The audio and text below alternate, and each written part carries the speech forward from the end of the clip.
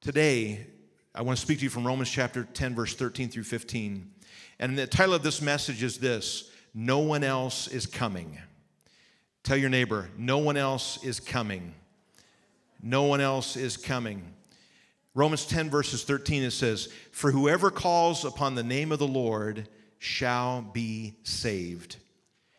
How then shall they call on him in whom they have not believed? And how shall they believe in him of whom they have not heard? And how shall they hear without a preacher? And how shall they preach unless they are sent? As it is written, How beautiful are the feet of those who preach the gospel of peace, who bring glad tidings of good things who bring glad tidings of good things. Tell your neighbor, those are some good looking feet. Those are some good looking feet. I don't have a feet fetish, but those are some good looking feet right there. Amen. Amen. I believe that I believe that we, the church of Hermiston, we, the church of the 21st century, we, the church of 2021, are living in the greatest hour on planet Earth. We're living in the greatest time in God's economy. I hear I read a headliner not too long ago. Uh, I'm big on YouTube. I like to listen to music and preaching all the time. And, and there was one option that popped up, and the title of it was this Things are not falling apart, things are falling into prophetic place. Amen? What you're seeing and what you're witnessing are the very things that Jesus promised would happen before his, his second return, before he's coming again, before he appears on the eastern skies. I was doing a funeral a few weeks ago and, and I made a comment to that group that were there. I said, Did you notice that all the headstones are facing east? Do you all know why that is? It's because Jesus is coming from the east, the Bible says, as he comes through the clouds. As the angel said in Acts chapter 1, as you have seen him taken up, so you will see him returning in like manner when he comes again to call his saints home. Amen. Uh, you know, even Paul, or Peter, I should say, in the book of Peter, there were those then that thought maybe Jesus had already come or that he was not going to come because they were prepared for him to come at any moment, any hour, even then, 2,000 years ago. But just because he hasn't come yet doesn't mean he's not coming. The Bible says in 1 Peter chapter 4 verse 12 and 13 it says, "But he is not slow concerning his promises, as some count as slowness or procrastination, but it's that he's not willing that even one person perish, that even one individual slip into eternity." And so every day that we have on this earth is another day to give a witness to who Jesus is. It's another moment, it's another opportunity, it's another chance to say, hey, have you, have, have you heard about Jesus? Do you know Jesus? Can I ask you a question? Do you want to know him? And so, talk about purpose.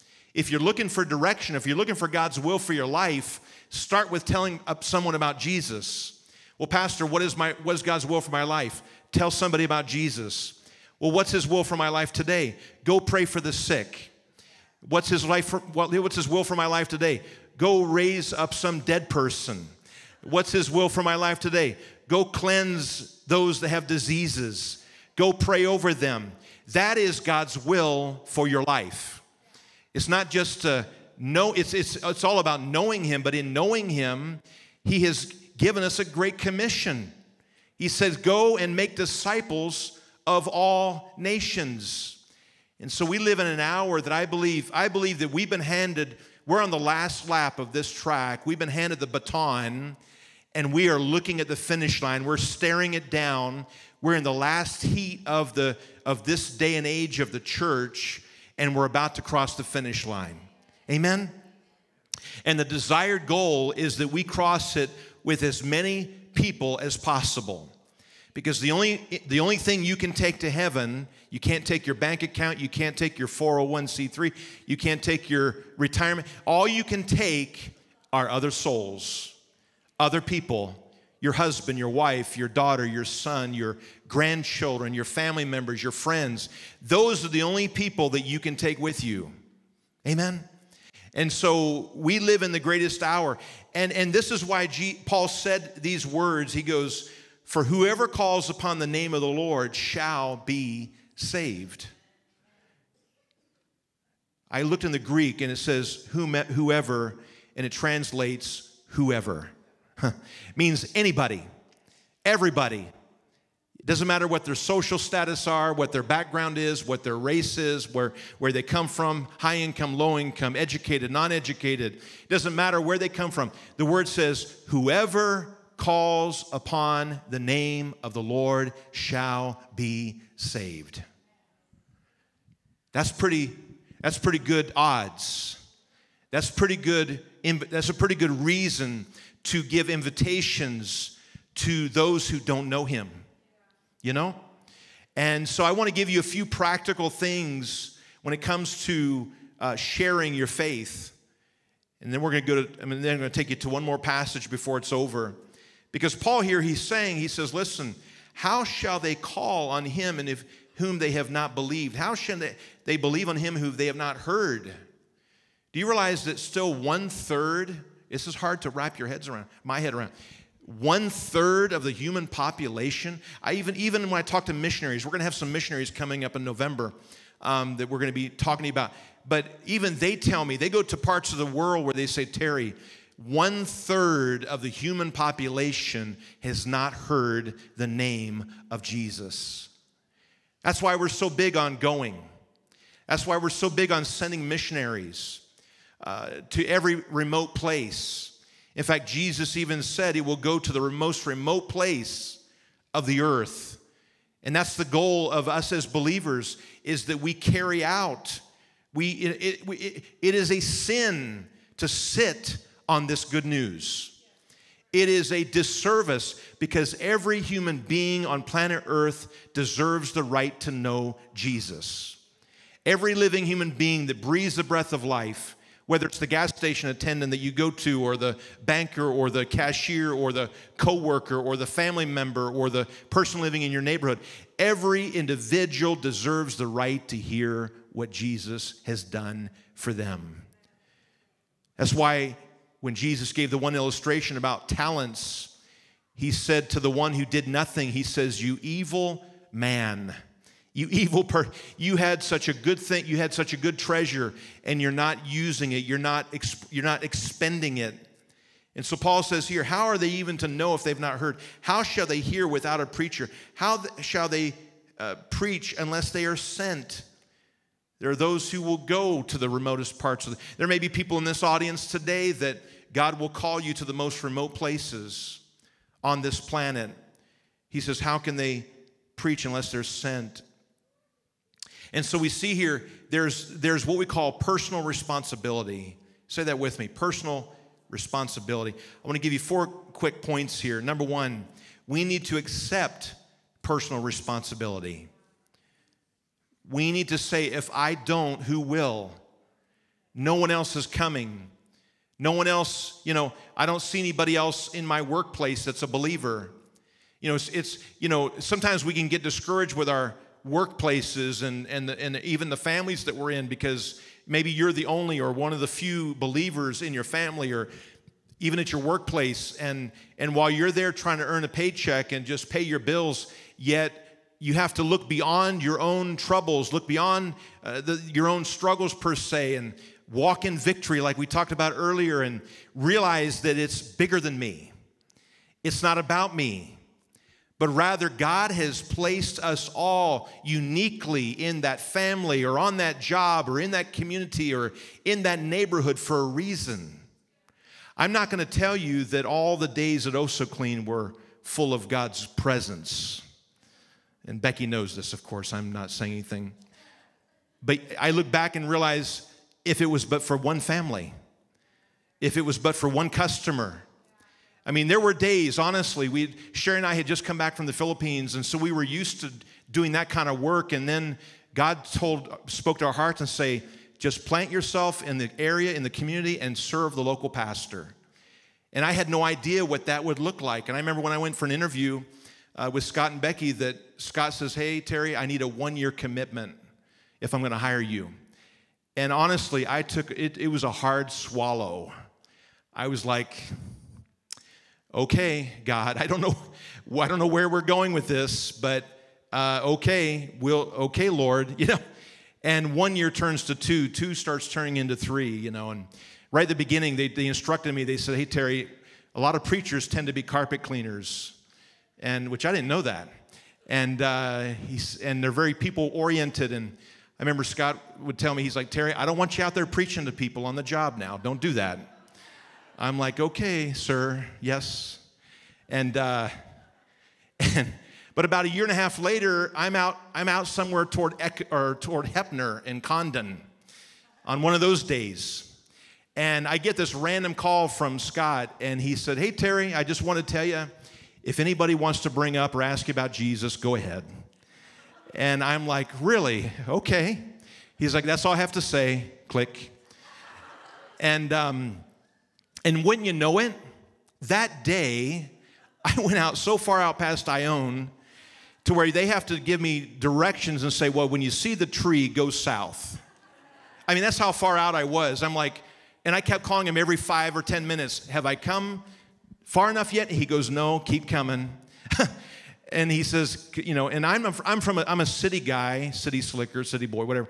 I don't know what it means by saying go south five miles, go north, northwest. I'm like, tell me, is that left or right? Is that straight ahead? But when they start giving you instructions in terms of when you see that one tree go south, I'm like, I'm lost. Just say right or left. What does that mean? You know. And sure enough, that day, I end up cleaning a house for a guy, and the whole time he's literally like five steps behind me, just wandering around the house. His wife had left him, he was going through divorce. He was as lonely as lonely could be. And he needed to hear something that was giving him hope. Amen. You don't realize what God wants to do. You may think, wow, this is a hard place, a hard job, maybe. And yet God has placed you there. You have to say, you know what, Terry? Get over yourself. It's not about you, it's all about Jesus. Amen? And you need to say, you know what? I take personal responsibility today. God has placed me here uniquely for such a time as this, for such an hour as this. You could have been dropped into any part, any part, any place in human history, but he decided to say, you know what, Melissa, this is the time I'm going to put you here. Lisa, this is where I'm placing you. Carlos, Marty, this is where I'm placing you for such a time as this. And we need to acknowledge God's call in our life to say, okay, Lord, it's not about me, it's all about you. It's all about you. And then, secondly, we need to build personal relationships. You know what? People are not looking to argue or debate, they just want to be loved. They're just wanting someone to show them uh, the genuine love of God. Maybe they don't know what that, maybe they don't understand it. Maybe they're like, what is this? Why do I feel this way when I'm around you? You, you know, you seem at peace, there's a joy, there's, a, there's something about you that, that I cannot describe. People just want to see Jesus. They want to be, they want to know that we're genuine. Because believe it or not, people, people are watching you. People know once, it, once the cat's out of the bag, once they know you're a believer, you know, they're listening to what you're saying. They're listening to, they're watching what you're doing and how you act and react. And it doesn't mean that we have to walk in fear and be walking on eggshells, but rather, if you're if you're in pursuit of Jesus, you don't need to worry about that. You just need to please him. Like Paul tells the tells employees in the book of uh, Colossians, we just finished that up this week on our 7 a.m. call. But he says to employees, he says, everything you do, do it as unto Christ. Employers, treat your employees as unto Christ. What does that mean, Pastor? It could mean showing up to work on time. Hello? Taking only the lunch break that they offer you. in other words, being ethical, uh, doing what's right, because that in itself is also a witness. But sometimes witnessing means you need to open your mouth and use words. You need to say, I'm a lover of Jesus. Do you want to know more about him? Do you want to know him as well? And then share your testimony. Uh, in other words, maybe take a moment. These are just some practical. Take a moment, take a sheet of paper, maybe this afternoon while we're thinking about it. Take a sheet of paper and just begin to write down saying, This was my life like before Jesus. This is what it was then. And this is how I met Jesus. I hit the wall. I was about to commit suicide, or I was about to just call it, call it done, or I was about to give up on life and just close the blinds and lock the doors and say, Don't anybody talk to me. You know, what, whatever that was that brought you to that place, because, what, because that day, while it may have been your worst day, it became your best day. While in that moment you were ready to just walk away from life itself, or walk away from family, or walk away from friends, or walk away from a job, yet that worst day became your best day. Why? Because you had an encounter with Jesus. You got, you got to know him that day. And then what your life is like now, having known Jesus. That's what people want to know. That's what people want to hear. Is really what you do, is it really that different from the world? You know, if, what, if our lives are just like their lives, then we have nothing to offer. In fact, Moses in the Old Testament, he even said to God, He said, Lord, it is your presence, it is you that makes us different than everybody else. And he said, If you're not with us, I don't want to take another step. I don't want to go any further. And so take a moment, whether on your smartphone, on your note app, or whatever, write down some thoughts. Think about what you would say if the opportunity availed itself. Even Jesus in the book of Matthew, he told the disciples, he said, Don't fear in that hour when they drag you in front of a front of a judge or when you have to give account publicly for your faith, because in that very hour I will give you the words to say. Amen. In other words, he will put all you got to do is take the risk and open your mouth. You might stumble, you might stutter, you might you might be apprehensive at first, but God says here, take the risk, step out, tell me, tell them about me. And then, of course, give them that invitation, whether it's an invitation to come and hear the gospel here at church or an invitation to, on the spot, say, hey, I want to I want to know Jesus. I want to take you at the moment, and you may say, well, Pastor, how do I get to that place? How do I, how do I take that risk? What's going to push me over? Go with me to the book of Acts, chapter 1. Acts chapter 1. I was rereading this in the Passion Translation. I just want to read a little bit in it, and then we'll take it to prayer this morning. But Acts chapter 1, this was just days. Uh, this, well, let me say it this way. This was days before Pentecost. This was about 10 days before Pentecost came. And Jesus had died and rose again and had been basically visiting people all around for a period of 40 days. Uh, the word says, in fact, in this chapter, it even says that he would appear and have encounters and he would teach them more truths about the kingdom and he would even share meals. Isn't it interesting? Even after his resurrection, he was still having dinner with people, he was still having meals with people and uh, sitting down with them. But the word says in Acts chapter 1, uh, I believe it's in verse, the end of, or starting in verse 4, it says, Jesus instructed them, don't leave Jerusalem, but wait here until you receive the gift I told you about, the gift the Father has promised. For John baptized you with water, but in a few days from now, you will be baptized in the Holy Spirit. In other words, that honestly, believers, this is for all of us, we, God has, when I say that we're living in the greatest hour, and when I say that, that, that, that this is the greatest hour for the church and that what we're going to see is awesome when it comes to harvest. Um, understand this it is, we cannot do it in our own strength. We cannot do it by our own wisdom. We cannot do it by our own ability, our abilities to talk or not talk, or whatever. We cannot, you know, even the most eloquent of people cannot accomplish God's work without the presence of God. Amen? And he says here, you know, John baptized you in water, but in a few days you will be baptized in the Holy Spirit. In other words, that it is His super on our natural. We call that supernatural. when you step out, you're going to sense the supernatural power and pray. This is the thing God meets you when you step out. I remember when I was young, I was still in college, and And uh, I joined this team where we go out every Friday night and hit. This is Baton Rouge, Louisiana, Louisiana State University. They have what they call Chimes Street. Chimes Street was is nothing but a row of bars, and we would go down every Friday night for months, and uh, and we would experience God's presence as we stepped out. How many of you know the majority of miracles take place outside the four walls of a church? We think somehow that it's just what's happening in here is, is where all the action's taken. It's happening on your job.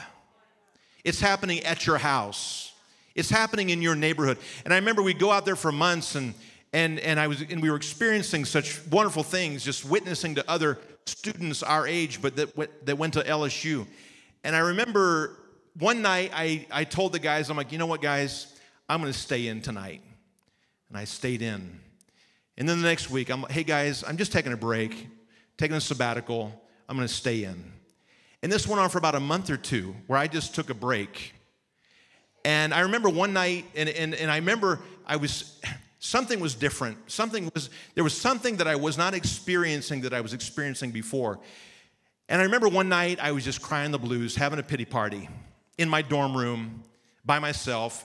And I remember I said, Lord, why am I not experiencing the intensity or the freedom of your presence like I was just a few months ago?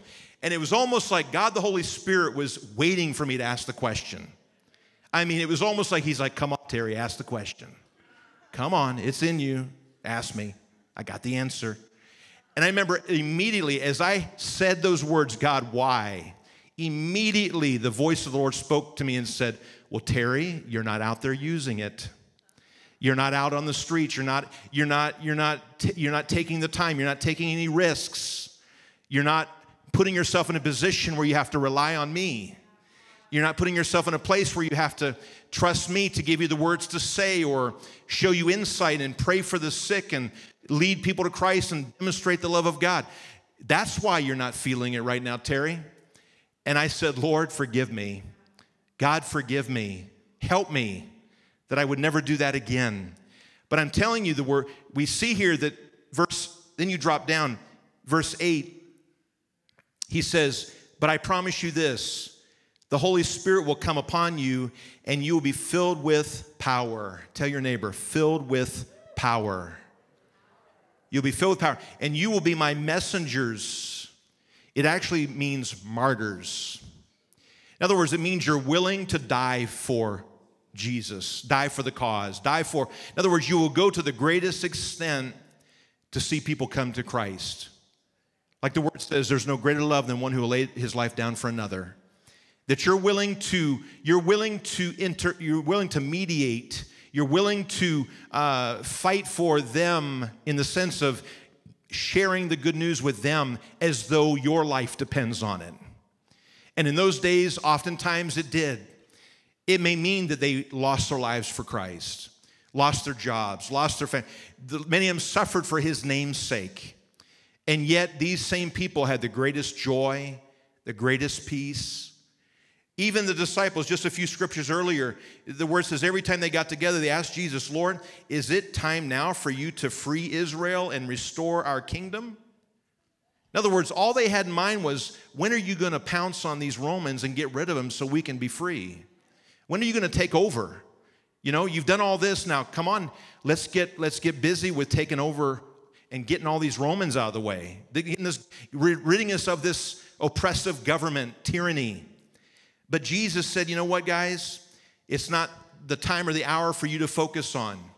But, he's, but he, he says, but I promise you this when the Holy Spirit comes upon you, you'll be filled with power, and you will be my witnesses in Jerusalem, Judea, Samaria, and the remotest parts of the earth. What was Jesus saying?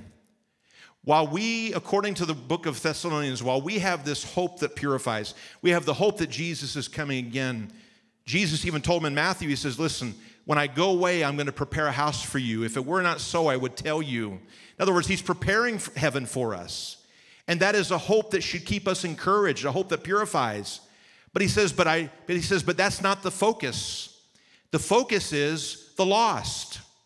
The focus is letting other people know what you know, sharing with them the good news that Jesus has come. He died, He was buried, He rose again for our salvation, and that we don't have to live in bondage any longer for one more moment, but that we can enjoy forgiveness and freedom in the Spirit. Jesus, do you realize this? That while Jesus is eager to come and bring his family home, he doesn't even know when that time is.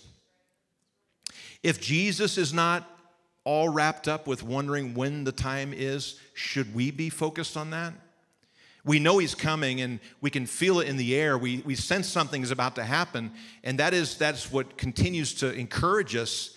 But in the same token, all Jesus knows is I need to be busy about my Father's business because souls are the reward of God. God sowed Jesus into the earth through the cross. He sacrificed his own son, and his reward is the salvation of the lost. And so when you participate in that, you're participating in his reward. His history, his story now becomes your story. You're now part of history, his story. Amen. But he says here, he says, don't leave Jerusalem. In other words, don't, don't keep going on. Don't, I, I think if there was not a day of Pentecost, which happened 10 days later, and this is a second gift to the gift to the uh, to the gift of salvation. I believe that if that day had not taken place, the Great Commission would have been a great flop because we need his super on our natural.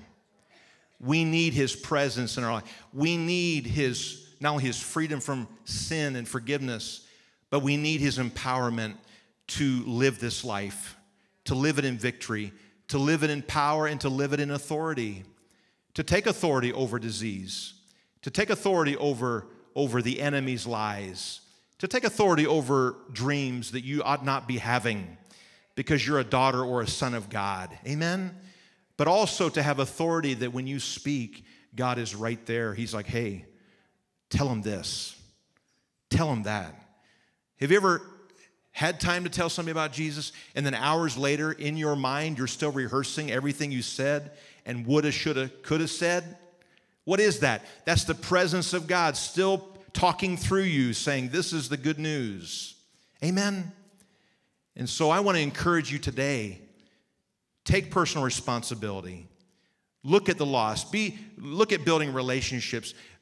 I, I believe that in the days that follow, you know, someone shared with me this dream not too long ago, but someone shared with me a dream about Hermiston that they were walking through Walmart and they saw huddles of people, three and four and five people in circles in the Hermiston store out in the parking lot as people were being prayed over, as people were being receiving Jesus and receiving miracles. And, and, and I believe that's a prophetic word for our church and for our community that what is happening here is going to happen out there, that it's not about our church per se, it's about his kingdom. And that you might find yourself in Walmart or Safeway and in the ice cream section looking for a good vanilla ice cream, you know. And, uh, and God gives you a, a, a holy nudge and say, hey, talk to her. Pray for her. Something's wrong. She might look good. She might be dressed well. Her hair all nice. But something on the inside is dying. She needs to know that Jesus loves her. Amen? What is that? It's his super on our natural.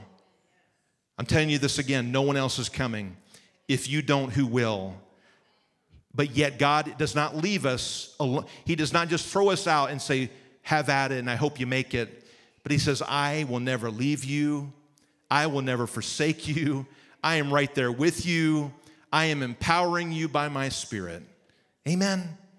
Praise God. Will you stand with me this morning?